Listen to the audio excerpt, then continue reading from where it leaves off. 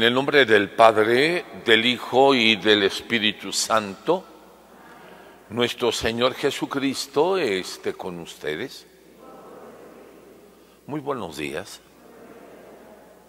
Vamos a agradecerle a nuestro Padre Dios que al terminar esta semana Él nos conserva con vida.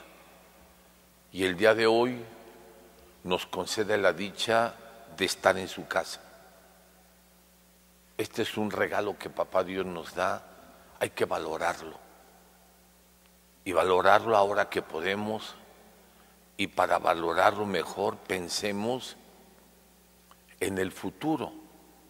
El futuro que no sabemos qué va a pasar. Pero viendo lo que sucede, ¿qué tal si en algún tiempo hacia el futuro estamos enfermos? Y no podemos asistir a misa. Hoy nos concede este regalo. Démosle gracias. O que ya en el futuro, por algún problema, alguna necesidad, queremos venir a misa, pero no podemos. Ahora Papá Dios no lo concede. Por eso vamos a agradecerle, valorando este, este amor que nos tiene y vamos a suplicarle que nos perdone a quienes tenemos pecado, quienes en esta semana no hicimos lo que teníamos que hacer, o lo hicimos pero mal. Sabemos que eso es pecado porque eso es flojera, eso es indiferencia, es indolencia, es irresponsabilidad en silencio, vamos a examinarnos cada uno de nosotros qué hicimos en esta semana y cómo lo hicimos.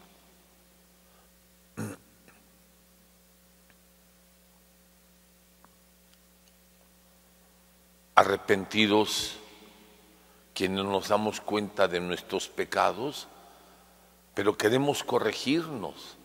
Por eso venimos a pedir la ayuda de Papá Dios, entonces arrepentidos decimos, yo confieso, ante Dios Todopoderoso y ante ustedes hermanos, que he pecado mucho de pensamiento, palabra, obra y omisión. Por mi culpa, por mi culpa, por mi grande culpa. Por eso ruego a Santa María, siempre Virgen, a los ángeles, a los santos y a ustedes hermanos, que intercedan por mí ante Dios nuestro Señor. Dios Todopoderoso, tenga misericordia de nosotros, perdone nuestros pecados y nos lleve a la vida eterna. Señor,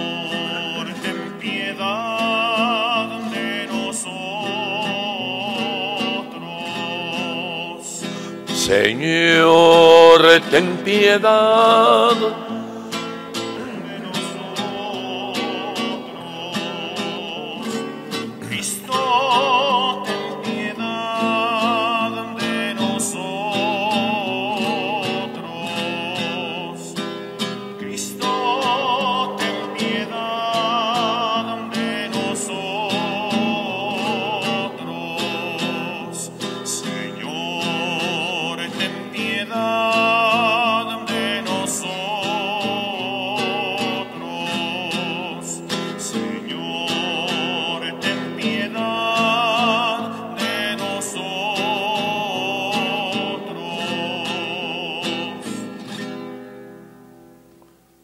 Vamos a darle gracias por todo lo que nos bendijo en la semana, los cuidados que ha tenido con nosotros y la ayuda que nos ha dado para realizar nuestras actividades y suplicarle que este fin de semana, como lo hacemos todos los fines de semana, pedirle a Papá Dios que nos ayude a reorganizarnos en familia, dialogar qué vamos a hacer la próxima semana, si como estamos viviendo estamos bien, cómo está nuestra amistad como hermanos, como de papás a hijos, hijos a papás qué proyectos tenemos como familia.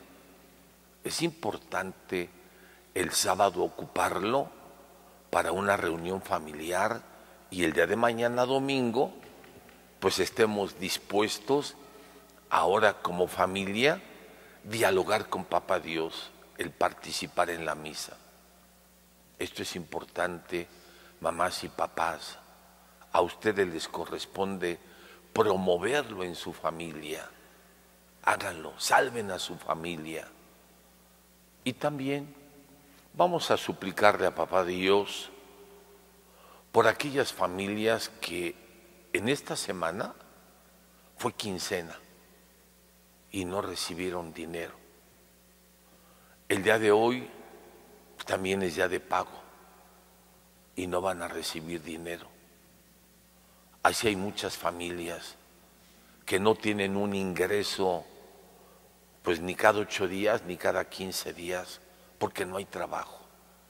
O familias que sí, el papá trabaja o los hijos trabajan, pero no, no colaboran en los gastos de la familia.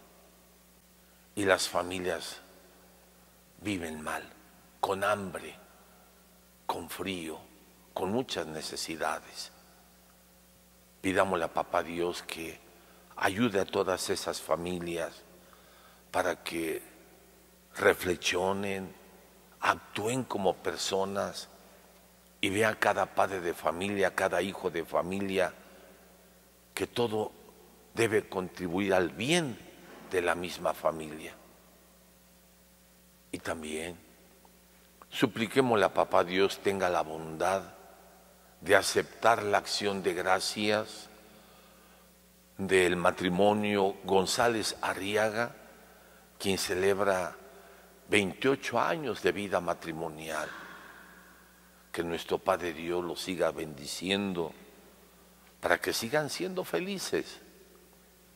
Y también recemos por nuestros seres queridos que ya murieron.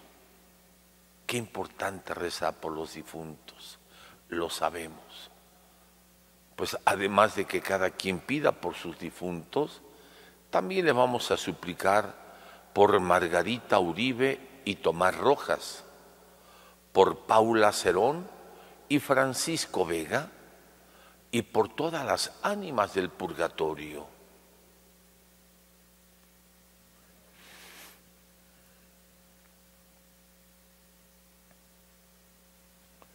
Padre Dios, concédenos que tus fieles que se alegran de estar bajo la protección de la Santísima Virgen María, nos veamos libres por su piadosa intercesión de todos los males aquí en la tierra y merezcamos llegar a los gozos eternos en el cielo. Por nuestro Señor Jesucristo, tu Hijo, que contigo vive y reina en la unidad del Espíritu Santo y es Dios por los siglos de los siglos. Vamos a escuchar la palabra de nuestro Señor.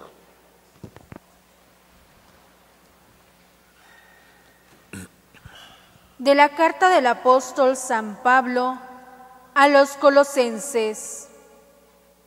Hermanos, en otro tiempo ustedes estaban alejados del Señor Dios y en su corazón eran enemigos de Él a causa de las malas acciones de ustedes. Pero el Señor Dios los ha reconciliado ahora consigo por medio de la muerte que Cristo sufrió en su cuerpo mortal, para hacerlos santos, puros e irreprochables a sus ojos. Sin embargo, es necesario que permanezcan firmemente cimentados en la fe y no se dejen apartar de la esperanza que les dio el Evangelio que escucharon, el cual ha sido predicado en todas partes y a cuyo servicio yo, Pablo, he sido destinado. Palabra de Dios. Te alabamos, Señor. Vamos a responder, por tu inmensa bondad, ayúdanos, Señor. Por tu inmensa bondad, ayúdanos, Señor. Sálvame, Dios mío, por tu nombre, con tu poder, defiéndeme. Escucha, Señor mío, mi oración y a mis palabras atiende. Por tu inmensa bondad, ayúdanos, Señor. El Señor Dios es mi ayuda, Él quien me mantiene vivo. Yo te agradeceré, Señor, tu inmensa bondad conmigo. Por tu inmensa bondad, ayúdanos, Señor. Se ponen de pie, por favor. Aleluya, aleluya, aleluya. Aleluya, aleluya, aleluya. Aleluya, aleluya, aleluya. Aleluya, aleluya, aleluya. Yo soy el camino, la verdad y la vida. Nadie va al Padre si no es por mí. Dice el Señor, aleluya. Aleluya, aleluya, aleluya.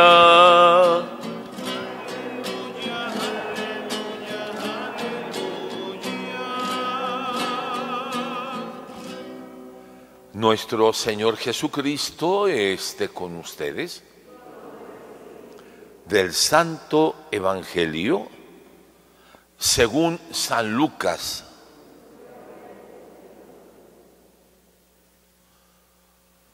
Un sábado, el Señor Jesús iba atravesando unos sembrados y sus discípulos arrancaban espigas al pasar. Las restregaban entre las manos y se comían los granos. Entonces unos fariseos les dijeron, ¿por qué hacen lo que está prohibido hacer en sábado? El Señor Jesús le respondió, ¿acaso no han leído lo que hizo el rey David una vez que tenía hambre él y sus hombres?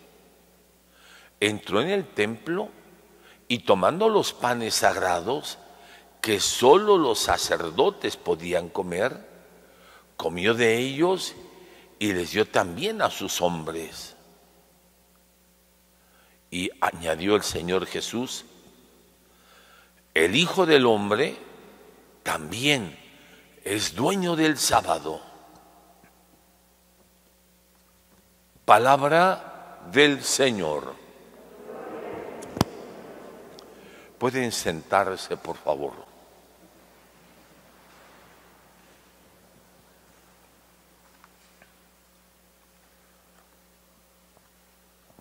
Dice nuestro Señor al final del Evangelio que acabamos de escuchar, el Hijo del Hombre también es dueño del sábado. ¿Quién es el Hijo del Hombre? Jesucristo nuestro Señor. El Señor Dios que se hizo hombre en el seno de María Santísima por obra del Espíritu Santo. Así se autonombraba el Señor Jesucristo. Nunca dijo, soy Dios, porque iba a ser un pecado de arrogancia y que iba a provocar escándalo en la comunidad. Por eso hemos comentado que el diablo le decía, ya sé quién eres tú, Jesús de Nazaret, el Hijo de Dios vivo. Y nuestro Señor le decía, cállate,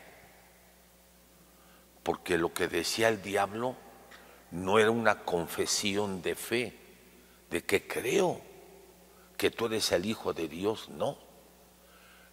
Era una provocación a la gente. Ah, entonces, este es el Hijo de Dios. O sea, Él se proclama Dios. Eso es una blasfemia. Y se lidian a nuestro Señor encima. Porque la gente no estaba preparada para aceptar que Jesucristo es el Señor Dios. Y claro, algunos de nosotros diremos, pero ¿cómo que no estaba preparada? Pues que no veían los milagros, el poder de nuestro Señor. Sí, sí los veían. Pero es como hoy entre nosotros. Pregunto, ¿ustedes están plenamente seguros y confiesan que Jesucristo es el Señor Dios? ¿O duda? Claro, pueden decir a alguien, no, no, sí estoy completamente seguro. Y entonces, ¿por qué no haces lo que Él te dice? O sea, ¿por qué no vives como hijo de Dios? Si crees en Él, pues vive como hijo de Dios. Y si no vives como Él te dice, significa que no crees en Él. ¿Ven qué difícil es? Y eso que ya pasaron dos mil años de este acontecimiento, pues en aquel tiempo menos lo iban a creer.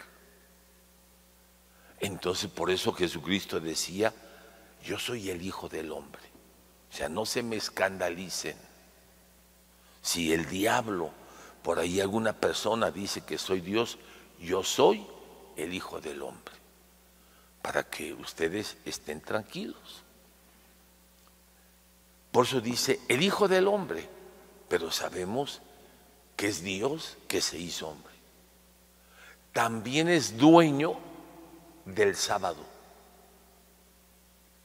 ¿Qué es un día? Pues es un tiempo, ¿no?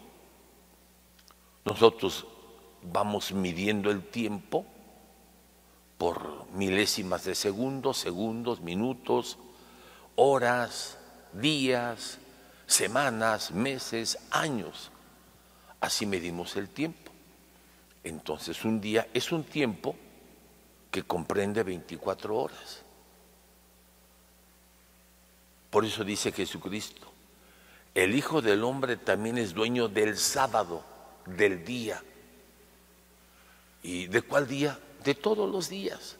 Pero él señala sábado, porque entre los judíos los días sábados tenían que respetarse estrictamente sus costumbres. En sábado no tenían que hacer ningún trabajo, nada. Por eso criticaban a Jesucristo, porque nuestro Señor con toda intención hacía milagros el día sábado para que esta gente, los judíos, los tradicionalistas, se enfadaran y recapacitaran que el hombre no es esclavo del tiempo. No somos esclavos del tiempo. El tiempo está a nuestro servicio pero nosotros no al tiempo. Cuando una persona se esclaviza al tiempo, pues no es feliz, no es feliz. Vemos en muchos trabajadores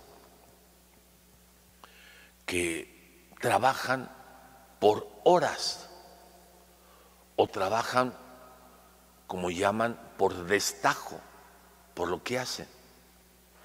Y entonces, trabajar por hacer lo que uno, eh, trabajar por, para que nos paguen por lo que hacemos, el tiempo te presiona, te, te estresa y ya no haces tu trabajo con, con alegría, con felicidad, por la necesidad o ambición de ganar más dinero. Esto se ve muy claro en Estados Unidos, entre la gente del campo. Nuestros paisanos que van allá a trabajar al campo, les pagan por hora o les pagan por destajo. Te pago la hora a cinco dólares. Y entonces, por eso se van desde muy temprano a trabajar. Seis de la mañana se van al campo. Porque dicen de seis a seis son doce horas. Doce horas por cinco dólares. Fíjate, tenemos sesenta dólares. Sesenta dólares a veinte pesos. Seis por dos, doce. Mil doscientos pesos y por la necesidad o ambición, ni desayunan y comen trabajando. el tiempo nos presiona, en todos. Aún en una clase, todos los alumnos vamos a la escuela y tenemos clases por tiempo, por hora. Y cuando la clase no está interesante,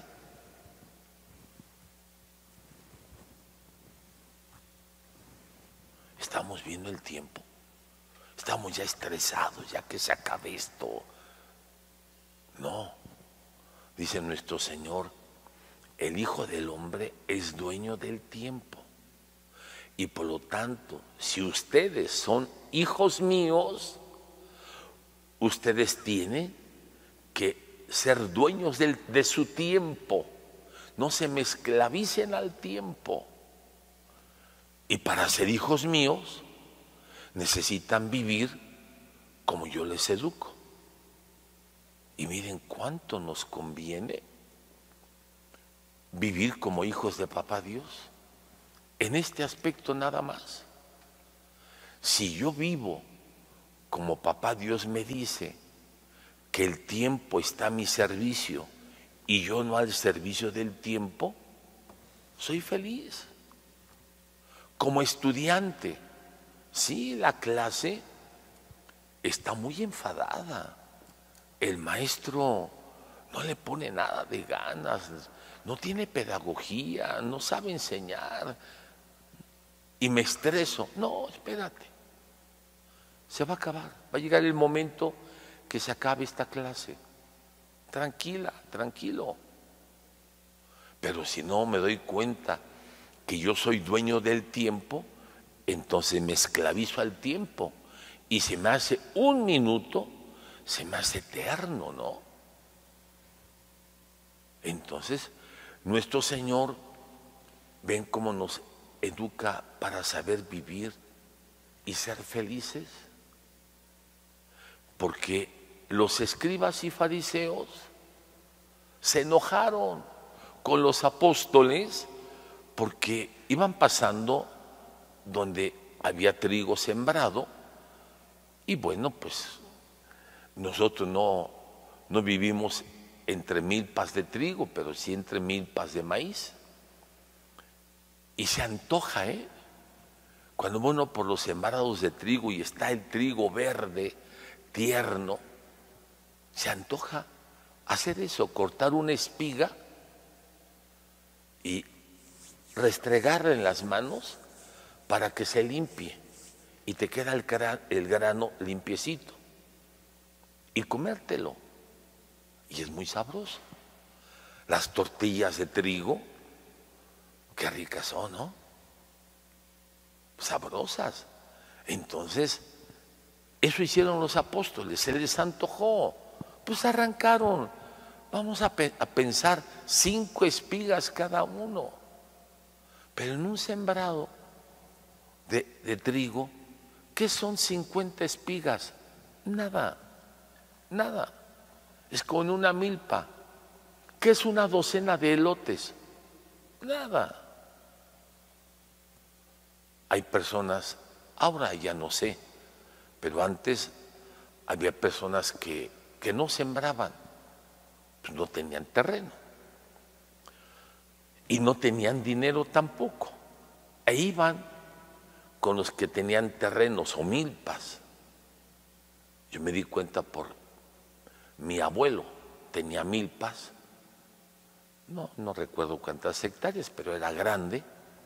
Llegaban con él y le decían, don Félix, se llamaba Félix, don Félix, queremos pedirle permiso si nos regala una docena de elotes.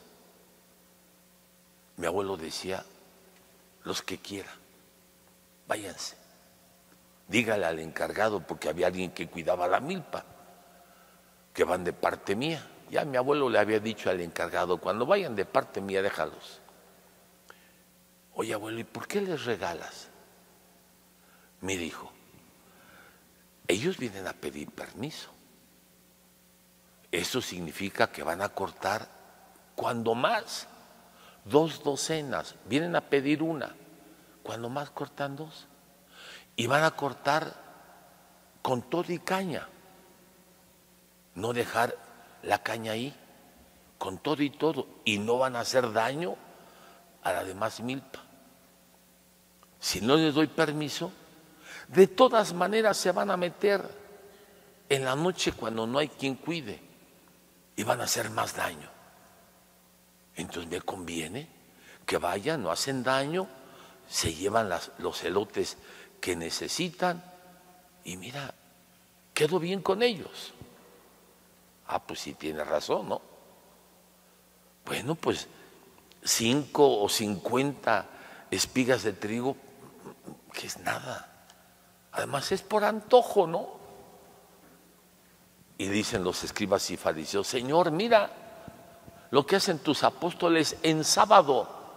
Prohibido hacer una actividad en sábado, decíamos. Nuestro Señor sonríe. Sonríe porque Piensa eso. ¿Cuánta falta les hace a esta gente ser evangelizados, ser educados? Lo dice por nosotros. Hoy lo dice por nosotros. ¿Cuánta falta les hace a mis hijos ser evangelizados, que conozcan mi palabra, ser educados en mi palabra para que no vivan en esclavitud.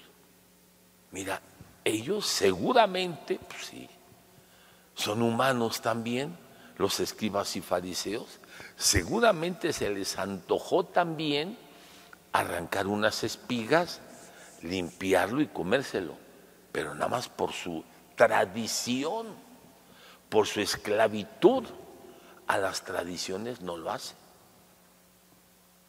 Es como ahora preguntaríamos a una persona eh, que peca, o sea, exagera de que es muy decente, muy educado, muy recto en la vida, y ve que otra persona sencilla, humilde, de cualquier edad, se está comiendo su elote hervido y le, puso crema o le puso limoncito o le puso su chilito o no sé qué más le ponen algunos, ¿no? Se lo está comiendo. Y se le queda aquí un poco de crema, ¿no? Y aquí hay chamaco cochino, mira nomás, o persona tan indecente. ¿A poco no se le antoja? Si alguno de ustedes así también acá, pipi nice, y ven una persona en la calle comiendo celote, no me digan que no se les antoja. Somos hijos del maíz. Así nos han criado. no digan que no se les antoja. Sí, pero, ah, sí, es cierto. Hay lugares donde hacerlo, pero sí, por eso fíjense, mucha gente, aunque no tiene dinero, se va a pasear. Porque va a otro lugar donde no le conocen. Para hacer lo que en su pueblo le da vergüenza hacer. Mira, esta señora, aquí en su pueblo, no, qué barbaridad, ay, qué asquerosidad, no, comer un elote en la calle, no, no, no. Se va a otro pueblo y hasta se sentó en el quicio de la banqueta a comerse su elote. Más es pura hipocresía. Esos son los escribas y fariseos. ¿Se acuerdan que dice nuestro Señor? Hipócritas. Bueno, pues por eso se enoja nuestro Señor. Y por eso les enseña también el Hijo del Hombre es dueño del sábado. O sea, ustedes son dueños del tiempo. No solamente de las actividades, no se me esclavicen a una conducta. Sean libres para que sean felices. Si no, no. Claro, lo que vamos a hacer tiene que ser de acuerdo a la libertad. ¿Qué es la libertad? hacer lo que tú quieras y que no ofenda a los demás. Por eso dicen también, mi libertad termina a donde empieza la libertad del que sigue. Pues sí, yo soy libre, voy a hacer lo que yo quiera, pero sin perjudicar a nadie. O sea, voy a hacer lo que yo quiera de acuerdo al amor. Si amo a mi prójimo, nunca le voy a hacer daño. Es lo que debemos de hacer. Es lo que quiere nuestro Señor para que seamos felices siempre ha existido, pero ahora se ha descubierto más como una enfermedad. Antes ni siquiera se, se conocía como algún mal, el estrés. Eh, hoy es una enfermedad. ¿Y cuánta gente se enferma del estrés porque el tiempo lo anda carriando? híjole, córrele porque el autobús y el metro y el taxi y esto. No, organízate. Tú eres dueña, dueño del tiempo, organízate. Para que no andes estresado, esclavizado al tiempo. Que entonces se goza, se goza del día. Pero cuando no somos dueños del tiempo, entonces nos enfermamos. Y pregunto, ¿la noche para qué nos la dio papá Dios? Para descansar, o sea, para dormir. ¿Y cuánta gente en la actualidad la noche la utiliza para malas diversiones o sanas diversiones. La noche no es para la diversión. No, aunque estemos en casa, vamos a ver un, un video, una película. No, ya son las 10 de la noche, tienes que estar descansando, porque mañana te tienes que levantar temprano, ¿no? Por muy tarde que se levanta la gente, la gente adulta, es a las seis de la mañana, por muy tarde. Pero la mayoría se levanta a las cinco de la mañana. Porque hay que prepararnos para ir al trabajo, a la escuela. Pero si duermes poco tiempo, sí te levantas, pero ¿cómo? Con sueño, con flojera, cansado, estresado, se me hizo tarde, ya ves por qué no me despiertas y salimos corriendo y tenemos accidentes y problemas. Recordemos el tiempo, papá Dios nos lo ha dado para que nosotros lo utilicemos para nuestro bien, para nuestro bien. El tiempo no es para esclavizarnos, no. El tiempo es, si queremos ahora, el tiempo es para cultivarnos como personas humanas. Ocupa el tiempo, o sea, los días, tu vida, ocúpala para que tú te superes día con día y vivas la plenitud de la felicidad en este mundo y después para la eternidad. Por eso dicen los salmos y dicen las poesías, darle tiempo al tiempo. Darle tiempo al tiempo. Este es el momento de orar, de rezar. Este, este, el que estamos viviendo. Enseguida será el tiempo del trabajo, que hacer que tengamos cada quien. Y enseguida el tiempo de alimentarnos. Y enseguida el tiempo de descansar, de dormir. Darle tiempo al tiempo. El tiempo debe estar a tus órdenes, no nosotros a las órdenes del tiempo. ¿Y por qué? Porque somos hijos del dueño del tiempo. Por eso papá Dios no tiene tiempo. Él es eterno. En papá Dios no hay tiempo, hay eternidad. Y por eso después de esta vida viviremos en donde? En la eternidad. Ahora vivimos en el tiempo.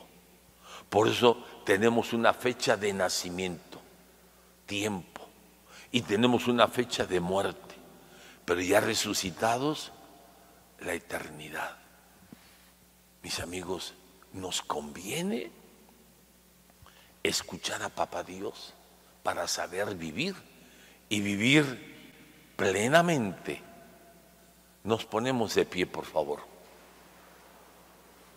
Vamos a, a darle gracias por todo lo que nos bendijo en esta semana. Lo hacemos en silencio.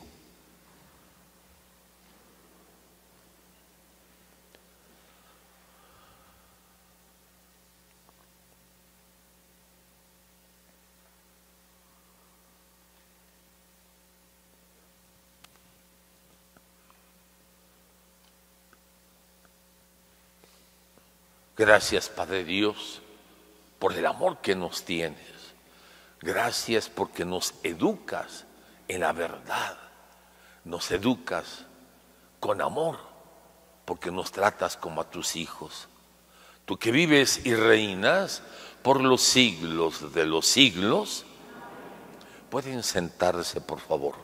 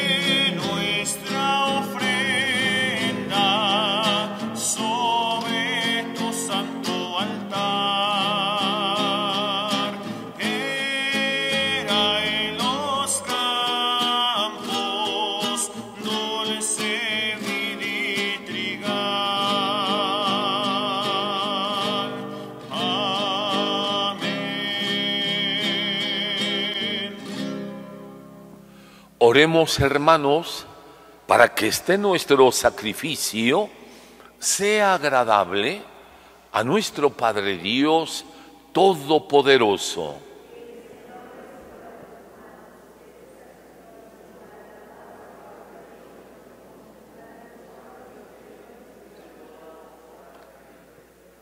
Padre bueno, dígnate recibir los dones que te ofrecemos y haz que nuestros corazones, iluminados con la luz del Espíritu Santo, siguiendo el ejemplo de la bienaventurada Virgen María, podamos buscar y cumplir siempre tu voluntad.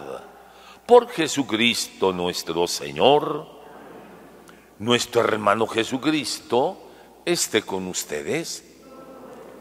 Levantemos el corazón. Demos gracias al Señor nuestro Dios. En verdad, es justo y necesario, es nuestro deber y salvación darte gracias siempre y en todo lugar.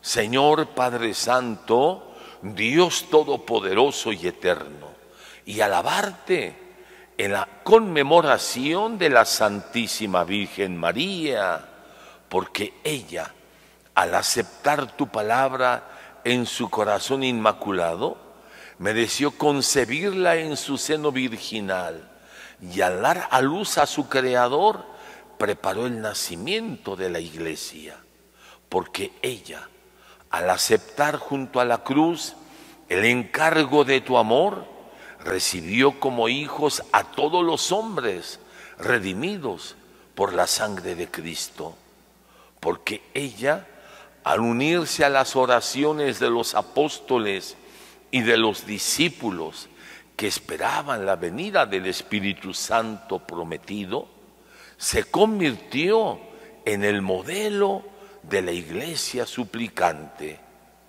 Y desde su gloriosa asunción al cielo, sigue mostrando su amor a la iglesia peregrina y protege sus pasos hacia la patria del cielo, hasta que venga el Señor lleno de gloria. Por eso, con todos los ángeles y los santos, te alabamos diciendo, Santo, santo, santo, santo es el Señor.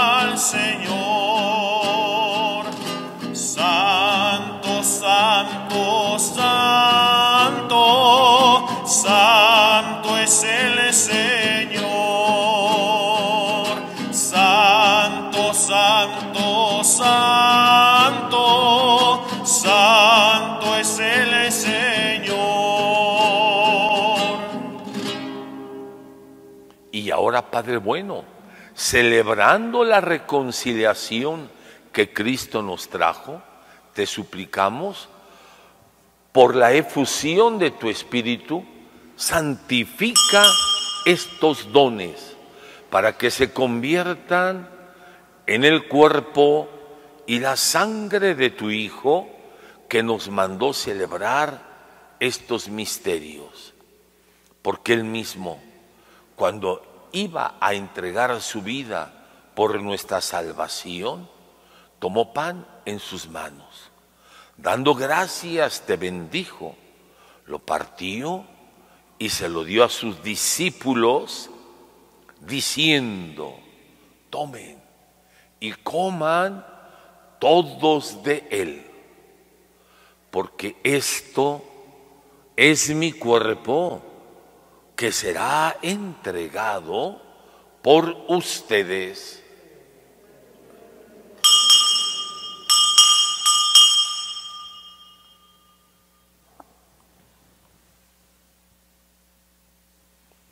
Del mismo modo, acabada la cena, tomó el cáliz, dándote gracias de nuevo, lo pasó a sus discípulos, diciendo, tomen y beban todos de él, porque este es el cáliz de mi sangre, sangre de la alianza nueva y eterna que será derramada por ustedes y por muchos para el perdón de los pecados, hagan esto en conmemoración mía.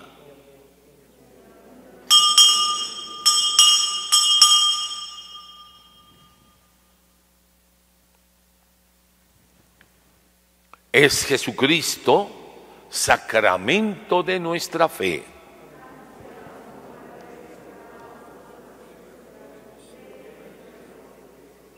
Así pues, Padre Dios, al celebrar el memorial de la muerte y resurrección de tu Hijo, te ofrecemos lo que tú nos entregaste, el sacrificio de la reconciliación perfecta.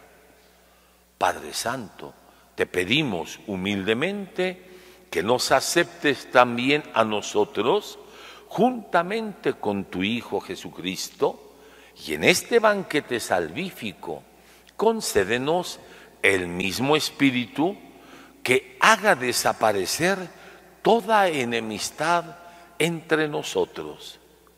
Que este espíritu haga de tu iglesia signo de unidad e instrumento de tu paz entre los hombres y nos guarde en comunión con el Papa Francisco, con nuestros señores obispos, Francisco Javier, y Maximino, con todos tus sacerdotes que trabajan por tu iglesia, llévala a su perfección por el amor. Padre bueno, así como nos has congregado ahora en torno a la mesa de tu Hijo, reúnenos con la gloriosa Virgen María, Madrecita de Jesucristo, con su dignísimo queridísimo y fiel esposo, el Señor San José, los apóstoles, los mártires y todos los santos, y con nuestros hermanos y con todos los hombres de toda raza y lengua que murieron en tu amistad, en el banquete de la unidad eterna, en los cielos y en la tierra nueva donde brille la plenitud de tu paz. En Jesucristo, Señor nuestro, por Cristo, con Él y en Él, a ti Dios Padre, omnipotente.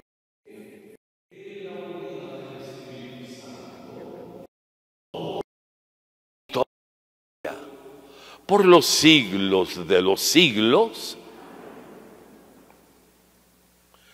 Vamos a rezar el Padre nuestro, mis amigos, suplicándole a nuestro Padre Dios que tenga la bondad de ayudarnos a saber compartir el fruto del trabajo en este día, el día de mañana, en un ambiente de familia. Se lo pedimos diciendo, Padre nuestro, que estás en el cielo, santificado sea tu nombre, venga a nosotros tu reino, hágase tu voluntad en la tierra como en el cielo. Danos hoy nuestro pan de cada día, perdona nuestras ofensas, como también nosotros perdonamos a los que nos ofenden. No nos dejes caer en la tentación y líbranos del mal.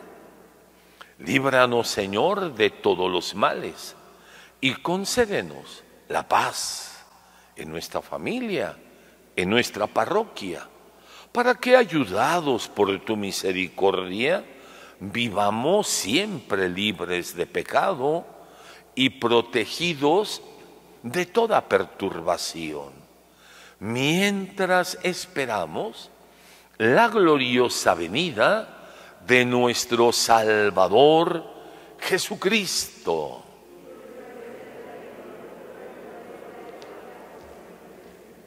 Hermano Jesucristo, que dijiste a tus apóstoles, la paz les dejo, mi paz les doy, no tengas en cuenta nuestros pecados, sino la fe de tu iglesia, y conforme a tu palabra, concédenos paz y unidad.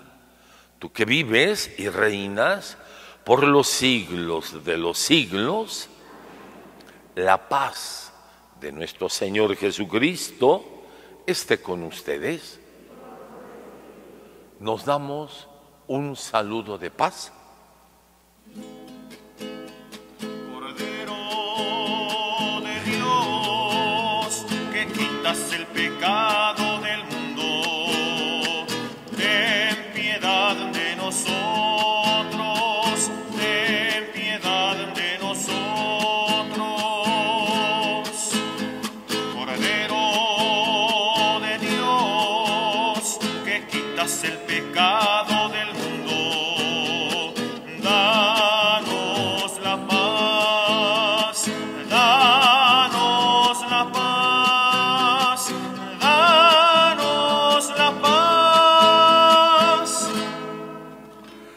Amigos, es nuestro Señor Jesucristo, el Hijo único del Eterno Padre, que ha venido a nuestro mundo a enseñarnos a vivir en la libertad de los hijos de Dios.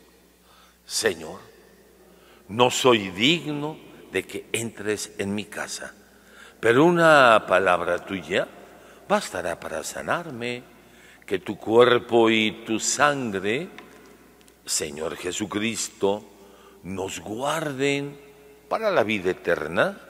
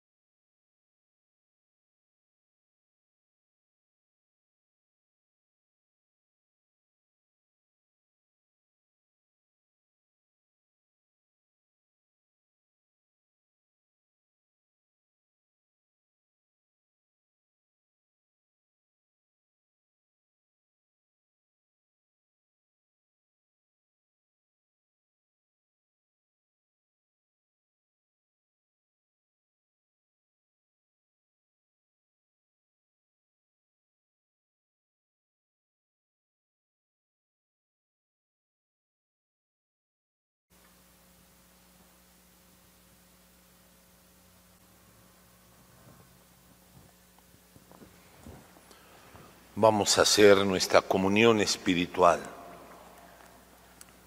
Señor Jesús, creo que tú estás en la Sagrada Eucaristía. Te amo sobre todas las cosas y deseo recibirte ahora dentro de mi alma.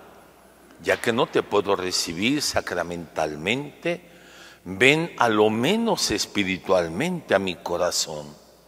Señor, no soy digno de que entres en mi casa, pero di una sola palabra y mi alma será sana.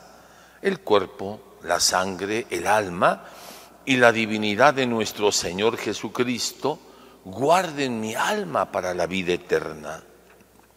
Y como si ya te hubiese recibido, te abrazo y me uno todo a ti. Señor, no permitas que jamás me aparte de ti y tú no te ausentes de mí. Te suplico, Señor mío Jesucristo, que la ardiente y dulce fuerza de tu amor embargue toda mi alma, a fin de que muera de amor por ti, así como tú te dignaste morir de amor por mí. Amén.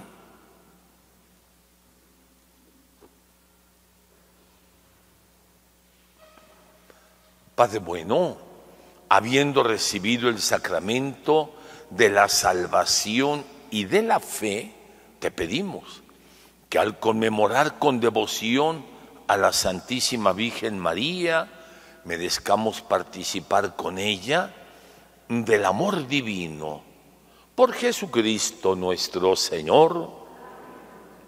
Nuestro hermano Jesucristo esté con ustedes la bendición de Dios Todopoderoso, Padre, Hijo y Espíritu Santo, descienda sobre ustedes y permanezca para siempre.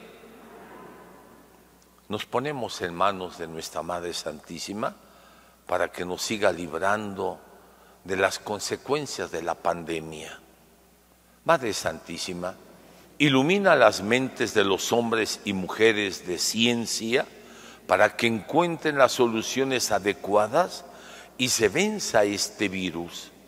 Asiste a los líderes de las naciones para, para que actúen con sabiduría, diligencia y generosidad, socorriendo a los que carecen de lo necesario para vivir, planificando soluciones sociales y económicas de largo alcance y con un espíritu de solidaridad. Por Jesucristo nuestro Señor, podemos retirarnos en paz a seguir viviendo como hijos de Papá Dios. Demos gracias a Dios. Que sigan pasando.